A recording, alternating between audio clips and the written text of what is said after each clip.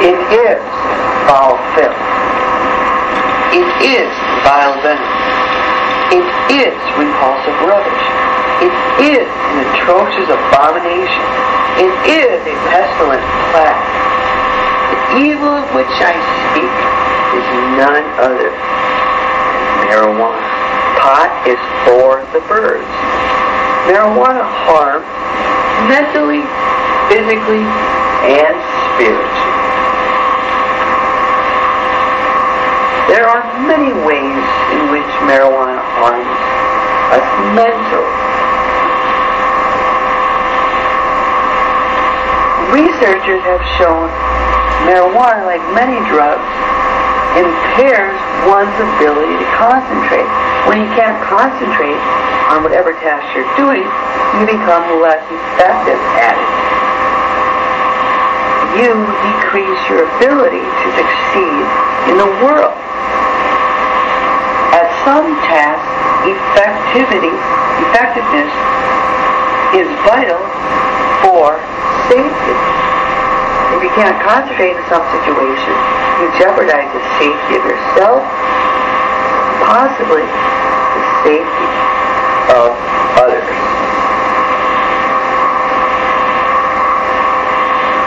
One of the most important tasks of which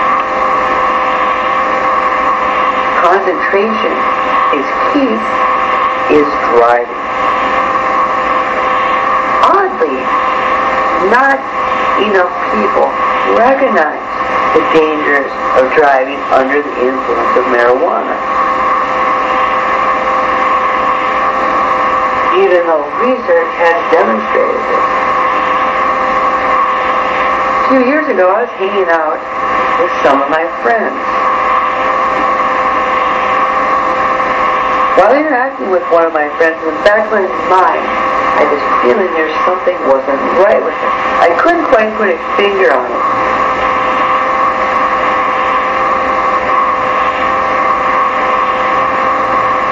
There was just a small inkling back in my head that she wasn't quite the same. Soon, the other friend informed me she was, this friend was under the influence of marijuana. It all made sense. I was also horrified when I realized she drove to this event under the influence of marijuana. I wanted to make sure she couldn't drive home. It was a big fight. Even my other friend didn't believe what I was doing was right. She didn't think my concern was necessary. She thought I was overreacting. She didn't think marijuana did anything to driving. After this situation, I was trying to confide in one of my other friends. She was not sympathetic at all. She ranted and raved about, dude, talk about how drugs are bad. I got, I smoke pot, I got great. What a cocky individual. She thinks she is so spectacular, nothing's going to stop her. She can drive under anything. That's not the way I want to be. In order to prove my point to that friend is skeptical of my concern, I showed her a book which was full of research showing all the ways marijuana harms. One father was concerned about his kids using marijuana. Therefore, he sent his kids tons of research to make his case so strong.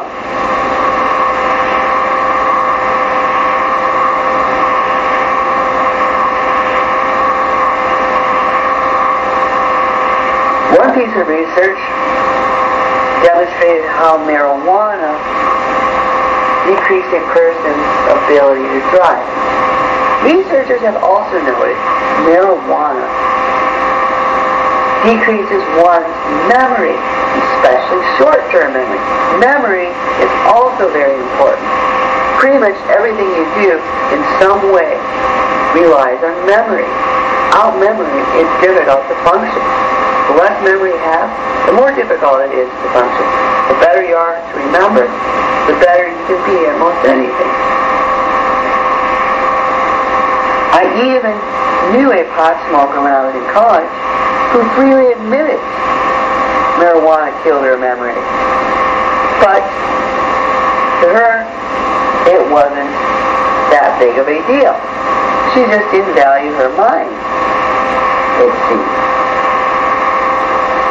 As a person who loves to create, who is very expressive, who likes to produce much art, I want to have my artistic abilities always as good as they can be. David Crosby of the band Crosby, Stills and Nash in an interview said something along the lines, I used to think, I used to tell myself I was taking drugs because they made me write better music, even though they really made me write worse music. I was just using that as a rationalization. Upton Sinclair wrote about another drug that many of his contemporaries succeeded not because of the drug that they often believe, but in spite of it. Thus, anyone succeeds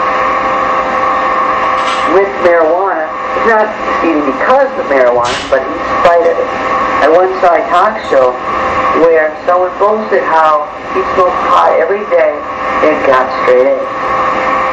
He's one of these cocky individuals who think nothing can stop him. I don't know how you can be that way. When you live in the real world, cockiness is not tenable. Observers have noted marijuana is often a gateway drug, one that leads to greater drug use. Maybe someone takes marijuana, then the person takes opium or LSD. Maybe it works all the way up to heroin, PCP.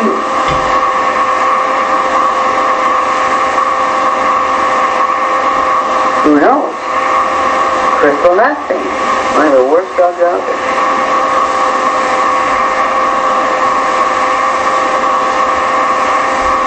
You're playing with fire, that's for sure. Plus, you have to realize something very important. Not only are you falling on a slippery slope every drug you try, but also when you are under the influence of a drug, you're not thinking so clearly.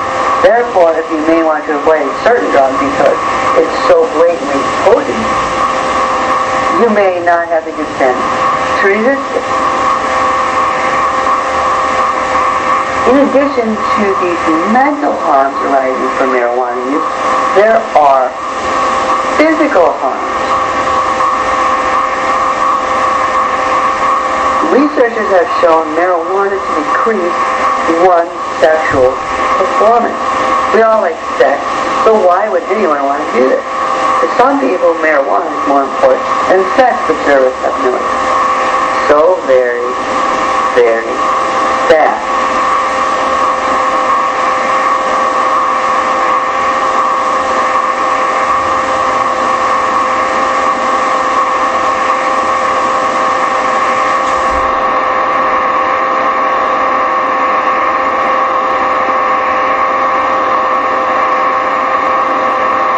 Worse than taking it while you're having sex is taking it when you're pregnant. We all know there's lots of birth defects that can result from alcohol. Marijuana is really no different. It's unwise to take any drug when you're pregnant. Try to avoid that. You shouldn't be taking drugs anyway. But if you must, at least stay free from them during your pregnancy or else you may cause much damage to your child.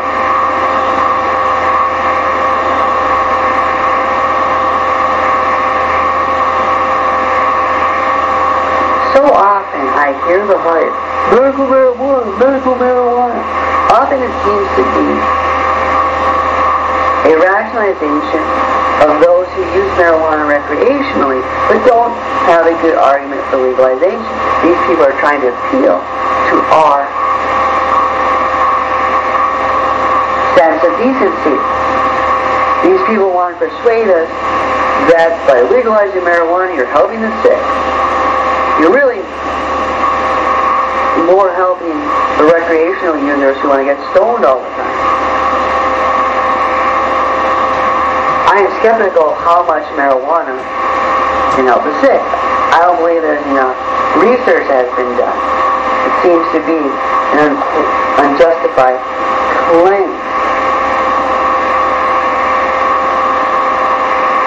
Furthermore, marijuana, when used medically, still falls prey to the problems inherent in Western medicine. Opponents of Western medicine say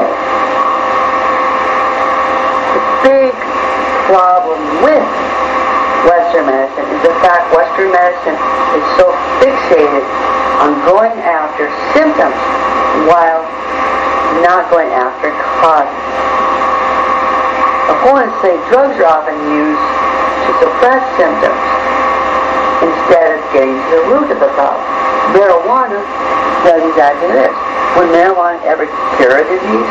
Probably not. Person could feel that pain, but it's more of the old joke where your leg is hurting. Oh, fix that problem. Slap your hand with a hammer. No, you don't care so much about your leg, do you, Joe?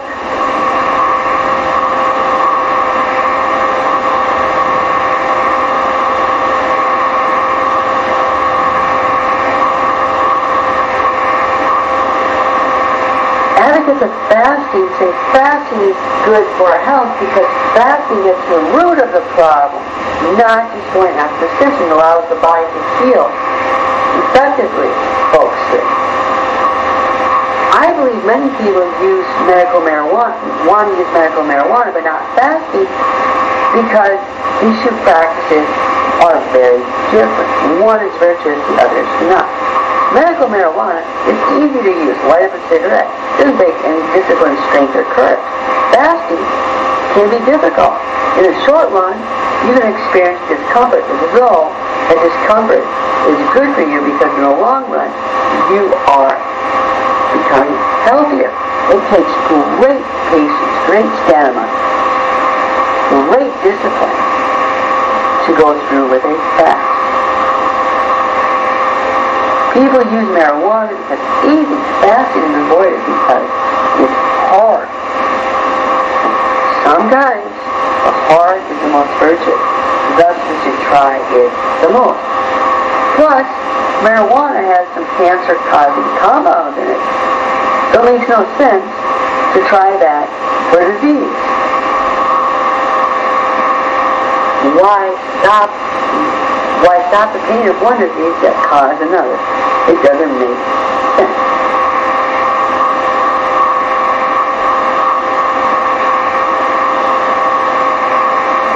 Any kind of smoke is bad for the lungs. I don't care what the smoke is made of. Whether it's tobacco, marijuana, PCP, or glue. The lungs don't want smoke. The lungs cough when there is smoke. Some note when people use marijuana, it's often inhaled deeply, therefore the harm of it is magnified.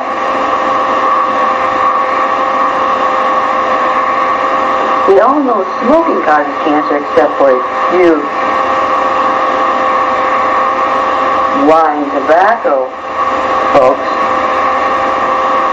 Do we also think marijuana smoking can cause cancer? It can. Bob Marley, one of the most famous pot smokers in history, died at a very young age from lung cancer.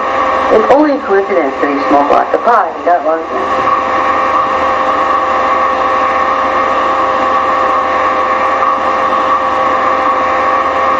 Herbert M. Shelton, one of the leading health advocates of the 20th century, noted there are two types of substances.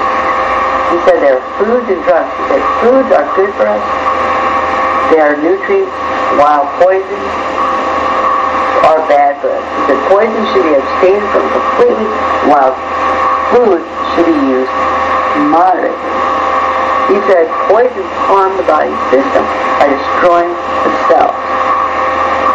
He considered like marijuana could be prime example of these poisons. He said these drugs can harm the body. Why do we use them then?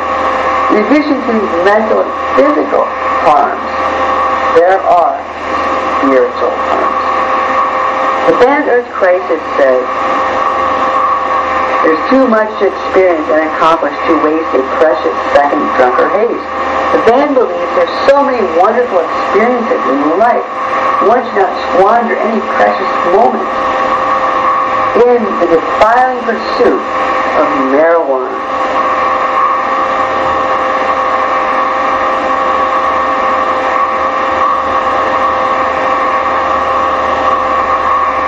To turn a famous turn a popular pot smoker saying on his head, time is always wasted when you're wasted.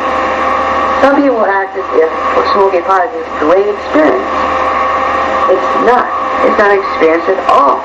In order to have an experience, you have to be able to experience it. When you're under the influence of marijuana, your mind is gone. How can the experience of marijuana be so great as it can hold a candle to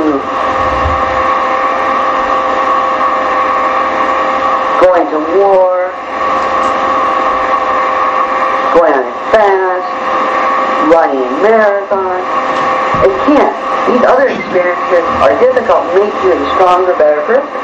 Smoking pot is not one. Some people try to argue, if you haven't tried it, you can't knock it. You haven't tried being run, run over by a dump truck. You can't knock it. We haven't tried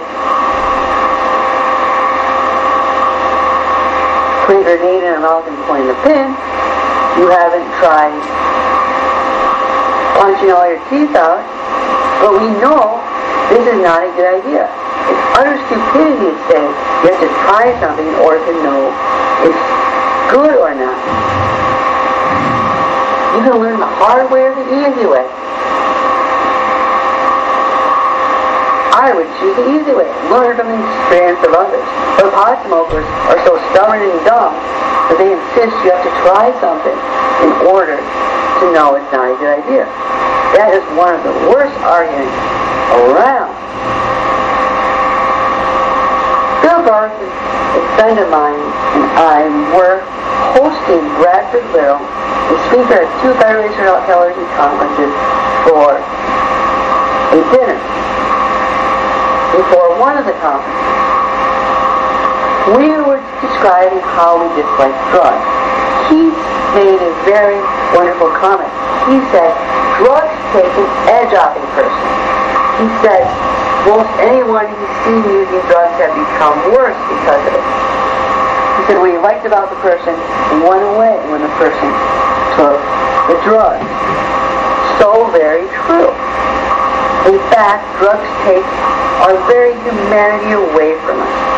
When we use drugs like marijuana, we are denying our Homo sapien nature and devolving into something not quite human. Look into the eyes of someone stone and you say a monster. It's like Dr. Jekyll and Mr. Hyde. People who don't use drugs are Dr. Jekyll. People who do become Mr. Hyde. These people become lunatics, nutcases, fools. People I want to avoid.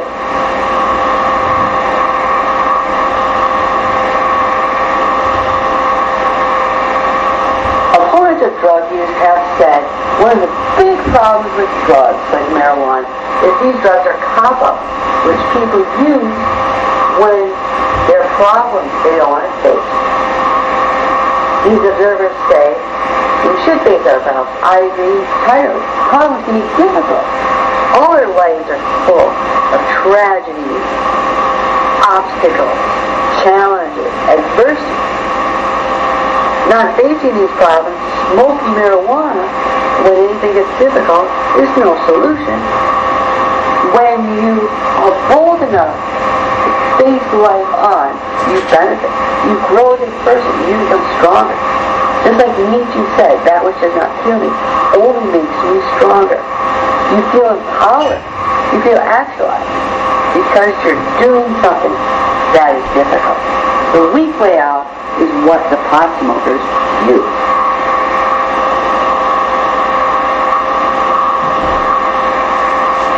I was arguing with one pot smoker who tried to suggest that marijuana wasn't harming him. He said, I smoke pot daily. I'm only my end of the conversation. He is one of these cocky people who think nothing can stop him. He is so good, he's so high, so mighty, he's so arrogant. I don't want to be that way. I don't think nothing can stop him. I know that is not the case.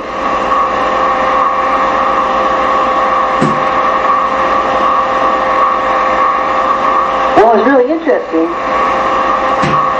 was even though his mind may not be completely destroyed right away, though in the long run it will, there's something that is completely destroyed right away. His soul. Prime evidence of this was what he was saying about his motivation level. He said he used to be involved in the group UCAN, United Cannabis Advocacy Network, the co-legalization of marijuana group. He said he was no longer interested in doing that. Could it be that marijuana is introducing this apathy? Why take something that kills your soul? I love to be around those with zest, life, exuberance, passion.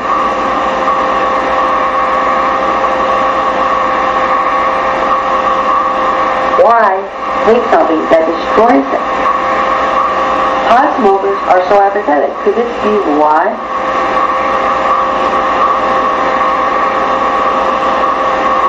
The movement hasn't succeeded? Too busy smoking pot, not doing enough activism.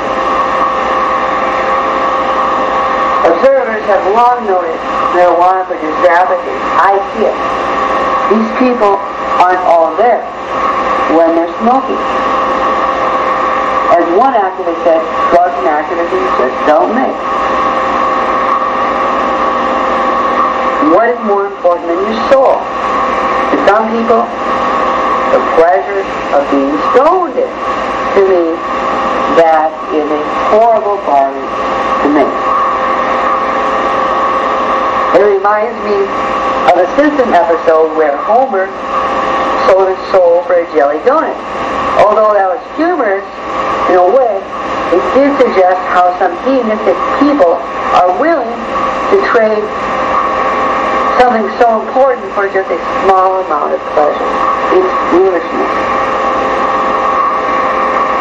Unfortunately, we don't have the right answer out there to deal with marijuana. We have two extremist approaches, approaches which wrestle or control. One extremist approach says marijuana is completely innocuous, therefore we need to legalize it and not have the government involved. The other approach says marijuana is harmful, we need to throw people in jail, give criminal records, we need to break down people's stores, we need to seize property, we need to violate constitutional rights because marijuana is that harmful. How can you choose from those two? Neither approaches have it all right. They both have elements that are right, but alone both of these approaches are incredibly harmful for society. I recommend taking the best parts of both. The Economy Party, my political party, has the optimal solution. It recommends, just like the legalization advocates say, we shouldn't throw people in prison or criminally punish them for marijuana use, also recognizing the other side which says marijuana is harmful, we should go after it. Thus, our party suggests we have a policy where we destroy marijuana without punishing the user in any way. If I had my way, anyone that was charged with any crime would have their records erased, compensated for the damage, plus whoever was in jail would be let free. Whoever was fined would be paid back. I believe we should go after marijuana when it's produced. Marijuana is tricky because there are useful ways to use the hemp plant. Some of these realization advocates are not so concerned about the good aspects of hemp, but just want to try to get us winning over, try to confuse industrial hemp and marijuana. If we're destroying marijuana, we need to be careful. We should probably just destroy it when it's manufactured, not the plants themselves. Because hemp is very valuable, as many have noted. Some have noted hemp can increase, can be good for the environment since it can be paper instead of trees. There's lots of uses people have found for hemp.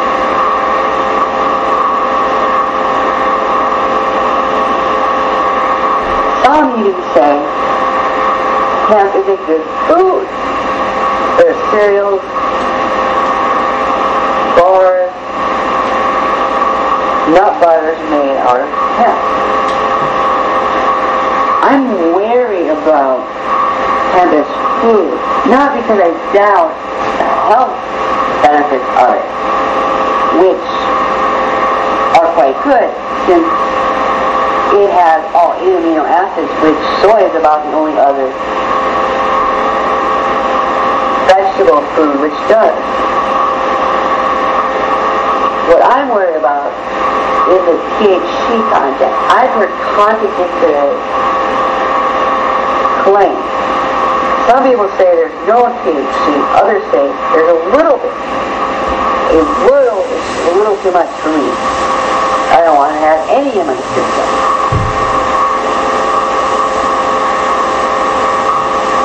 Even if there is some, it still couldn't be enough to do anything.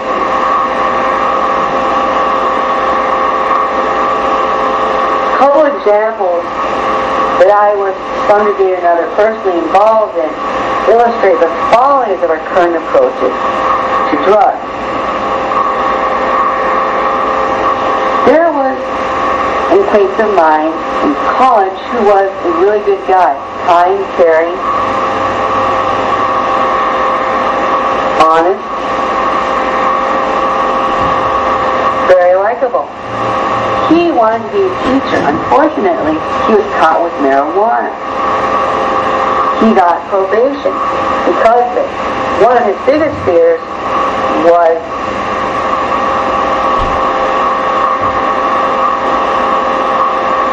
potential career problems that may arise from a criminal record. He was afraid he wouldn't be able to teach because of his criminal record. I hope people are sensible enough to not hold it against him. If you do, hold it against all beer drinkers. Since so many notice that we shouldn't have a double standard with alcohol and marijuana. It really bothered me when that Steven Ginsburg was not confirmed as a judge because he smoked marijuana in law school. Surely it was not a good idea. But that alone is a good idea. If so, don't let any beer drinker get into any office. We could save our world lots of trouble if that happened. George Bush sure drank his share of beer in his day. Don't let him be president.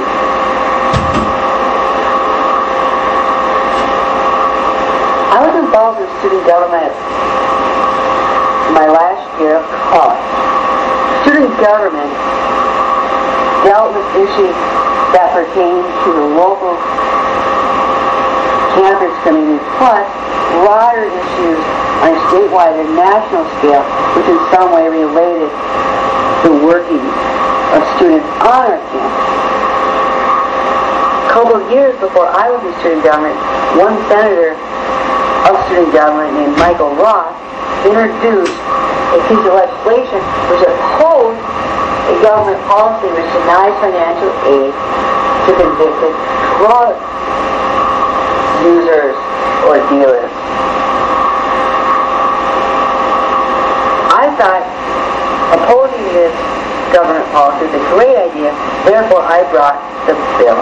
The discussion we had that night was one of the most insightful and revealing we had in my tenure in student government.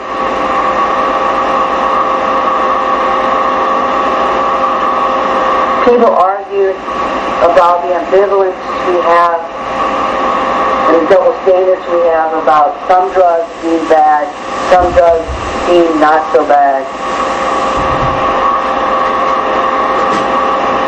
One of the core complaints about the policy was this policy singles out drug use as something so bad that one should be denied financial aid because of it, without denying aid to those guilty of worse crimes such as child molestation. The argument was, people said, if you are going to deny aid to someone smoking pot, should you deny aid to murders too? Even Michael Moore made an argument like that in his book.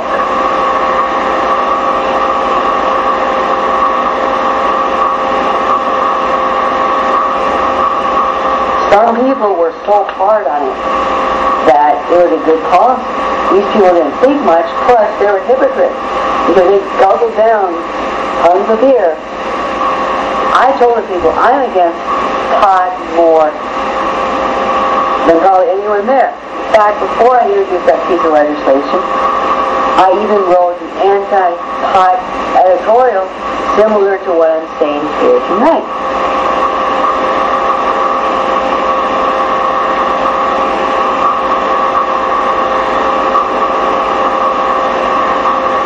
But denying financial aid pot is not the answer.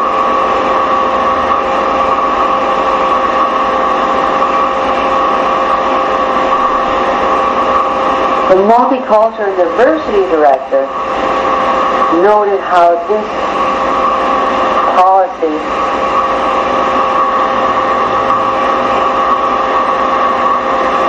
mostly affected those of low socioeconomic status. He said since most of those convicted of drug offenses are of those that, plus there are other ways socioeconomic status plays a role. If you're rich, the fines don't matter, even if it's one thousand dollars. That's a drop in the bucket for you. If you're living in the ghetto, one thousand dollars is a lot of money. If you're wealthy, even a criminal record might not matter. You can get all the connections you need. You can have someone pull strings for you, as some believe happened with George W. Bush when he was caught using cocaine.